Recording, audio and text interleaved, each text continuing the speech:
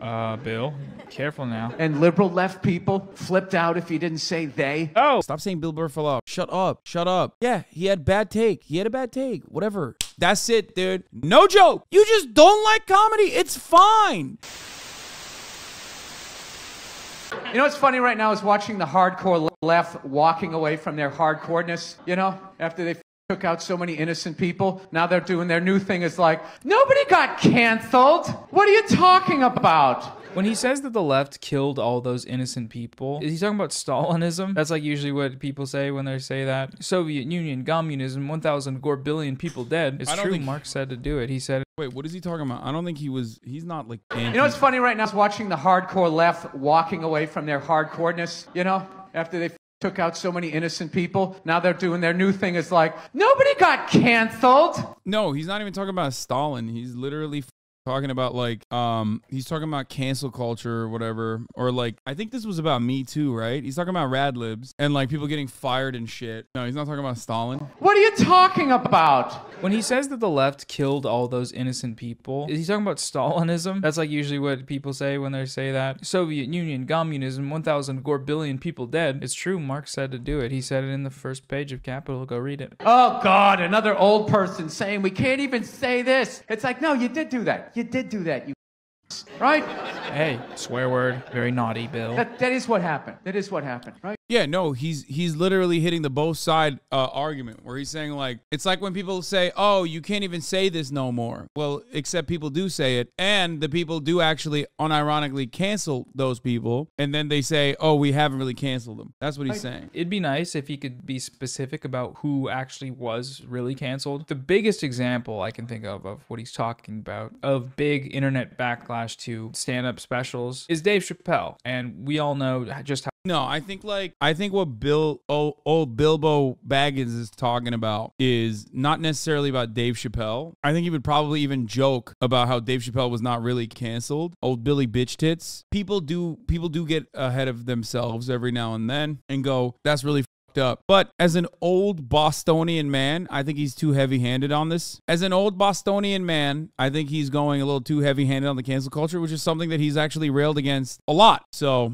it's, uh, I think his position is more nuanced than that. Defending Bill Dick riding? No, I will always defend him. I've also seen that special. It's like a old, is an older uh, video of his. Important follow-up question: Is anyone talented to be canceled? No. Yeah, yeah. Bilbo Baggins is the man i will defend him all day every day. Also if you want to know if you want to know what is like another version of the Radlib shit that's being weaponized cynically i'll tell you what it's the stop anti-semitism twitter account okay? It's real. That shit is very real. They literally go and find every palestinian person and unironically quote unquote cancel them. And none of these motherfuckers maybe maybe bilbo's talked about it i don't know but none of these motherfuckers talk about that shit. Every single one of these motherfuckers cancel culture ass pieces of shit, garbage ass comedians, with the, of course, exception of Bilbo Baggins. I do love Bill Burr. Okay, he's cool. He's awesome. Where are they at? Where's the smoke from the intellectual dark web? I haven't heard a single one of these motherfuckers that cut their goddamn stand up specials that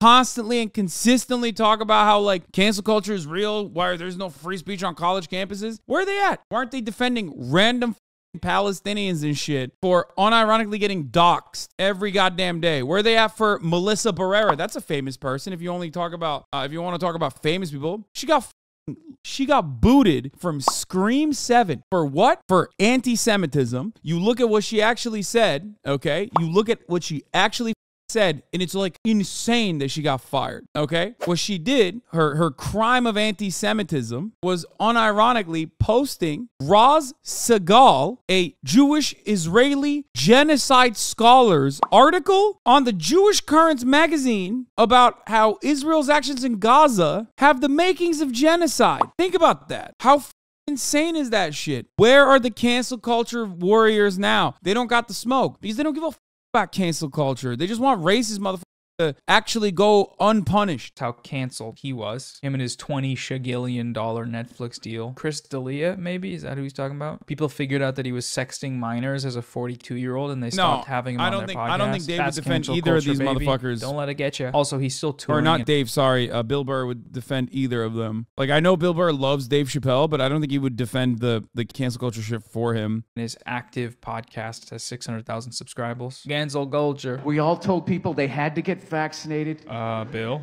careful now. And liberal left people flipped out if you didn't say they. Oh! And they tried to offend you. That's what they did. That is what they did. Now they're like, what are you talking about? Like your parents, right? When you go home for Christmas and you're like, you know, every day you called me a dumb and it really affected my self-esteem. And they're always like, what? I never said that. You're crazy.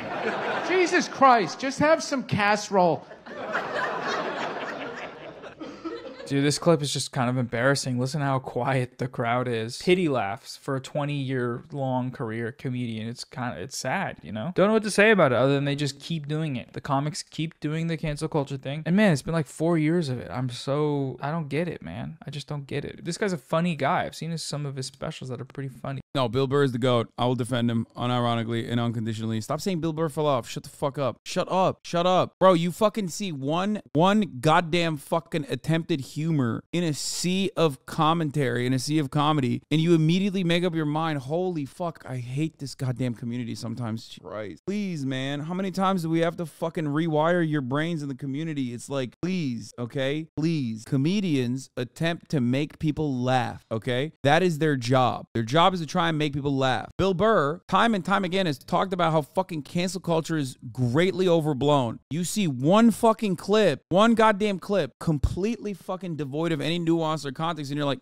that's it, dude. No joke. Yeah, he had bad take. He had a bad take. Whatever. Fucking Christ. So many motherfuckers have to have a take on comedy when they don't like it. You just don't like comedy. It's fine. You don't understand it. You don't appreciate it. You don't like it. And that's perfectly normal. You don't have to literally look at it and go, well, this is political commentary, actually. This is a fucking person who is unironically trying to lead masses into doing pogroms against those who are vaccinated or some shit. It's not that serious. Fuck. Oh my God. It doesn't matter. It is so nonsensical. Here, here you go. Here. Now you can love Bill. an actor and a Now you can fucking love Bill Burr again. Here. And Kevin Costner, I know they did another one together, and Here. you're a So actor. so Chat can like him again because he has the good opinion here. I didn't realize that, but you really can do it. Thank you. No, we've never met, and and you know I've always enjoyed you. I think you're a great comic, but I thought tonight maybe we would like sort of share a cry together because um, I think we have something in common, which is that we think political correctness may be ruining comedy, or at least threatening it. Because I know you've had your problems with that, and you you did a routine recently about how women like it rough, and then of course the internet police got all over you.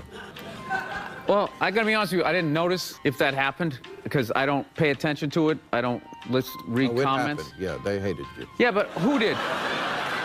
The This is, my, this is my thing. Who? Like The 20 haters. people? Like 20 people with a hashtag can get like a news story going now. And I just I just don't think there's no problem. Why? Why do you have to literally immediately write off a motherfucker from like th- a 30 second clip that you saw? Why? Why? Why? Here he is defending, unironically, your perspective. And they'll say that there's a controversy at a comedy club. That's funny is they'll show the clip on the news and like you hear the crowd laughing. So the comic is basically guilty of telling a joke that worked. Right. You know what I mean?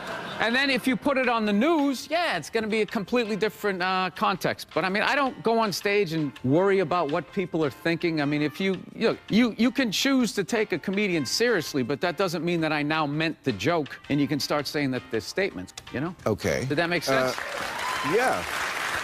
But I mean, you're not the first comedian to undergo that. I mean, Chris Rock says he won't play colleges anymore because they're too politically correct. Um, Daniel. You just ignore them. It's like three days. They flip out for three days. They try to bully you into an apology. well, you can't ignore them when they're right in the audience and you're playing to them. You tell them to shut the fuck up.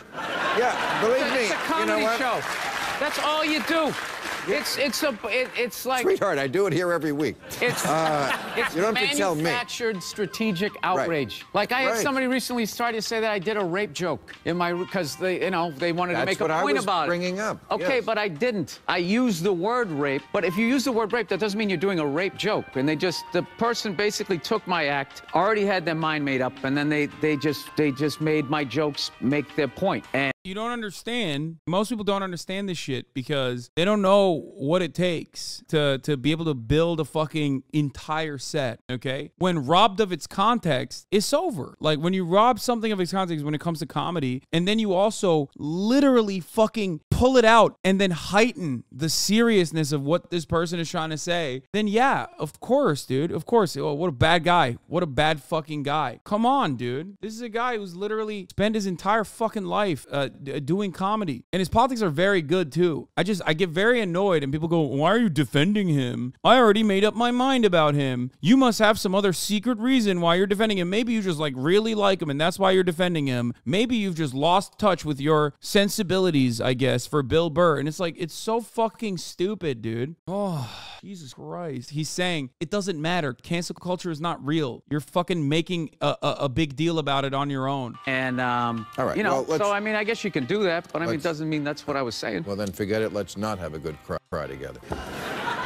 But as long that as not we're- what you wanted as long out of as that? we're as long as we're on the subject, He goes out. He's uh, what you wanted out of that. You didn't get I'm, what you I'm wanted out of going to say this about it because I have been through the same thing. You know, I used to do a joke about Sarah Palin, and they said it was about her child, and it really wasn't. It was about how she was stupid. But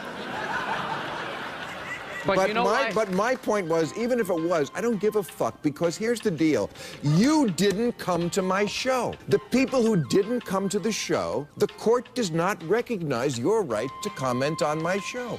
When you go, when you perform before an audience, especially a live one, that is your community. How many dates do you do a year? ah, a couple hundred. couple of hundred. Yeah. Wow, you are really on the road a lot. Okay. Yeah.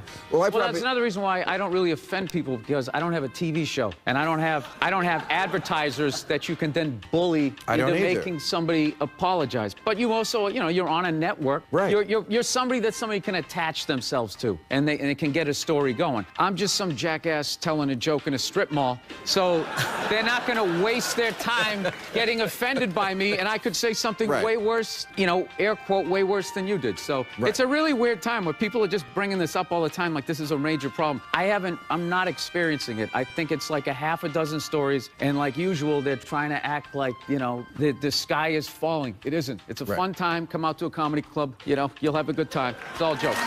Anyway, look, no, no disrespect to Noah too. I love Noah, but ultimately it doesn't matter. Like from time to time, he is going to, he's going to say some shit that's not that funny. Okay, you have to look at the entire body of work of a person, or I don't know, watch one fucking random podcast, and you will probably very quickly recognize that this is not a person that's like a bad guy in any capacity. Okay, like I'll tell you, like I'll, I'll tell it to you like this: you are a profoundly sheltered person if you think Bill Burr is like a like a reactionary, okay? He has is his weak spots. Nobody's perfect, okay? You know, but if you unironically think a dude, a Bostonian motherfucker at his age, at his level of wealth, if you listen to what he has to say across the board and you come across one aspect that you don't appreciate with and you immediately write him off, you are so goddamn sheltered that you cannot exist in the real world at all. Okay, it's crazy. I like Bill Burr. I think that uh, I think that Bill Burr is great. I think he's funny. I think he has um, a lot of good takes beyond his comedy, and that's it. This dude's a little fucked up, man. Little fucked up.